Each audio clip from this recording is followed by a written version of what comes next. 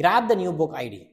Now in the previous lesson, you saw how simple it was to add a simple console.log script. Now what we are going to do is build on top of that and write a little complex script. Remember variables?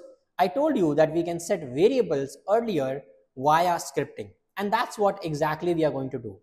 So we are going to go ahead and set a new variable called as id which will contain the unique id which is generated in the response whenever we create a new book.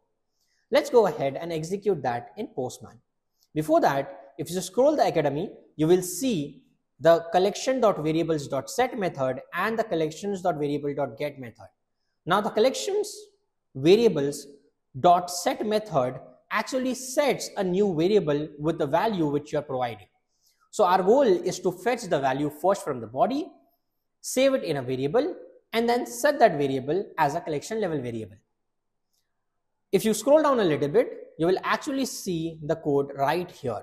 Let's copy the code and let's paste it in Postman.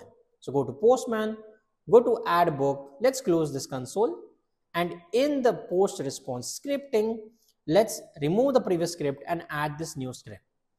Now to explain this code, it's very simple we are getting the response like we did earlier, but we are fetching only ID from that. And then we are setting a new variable called as ID. Now, if the variable ID does not exist, it will create a new variable. But if the variable with the same name exists, it will update the value. Let's save this and let's send this request. Nothing changed. Well, something changed. Let's see where. Click on the name of the collection and go to variables. And here you can see a new variable called as ID got created. Nice. Where can I use this? Go to get books by ID and here we were manually adding the ID before. Remember? Let's add that as a variable here. So we don't have to manually type it again and again.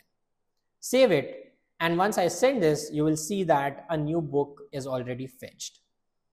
So ID can be now used anywhere within Postman. We can access it by using double curly braces and we can use that.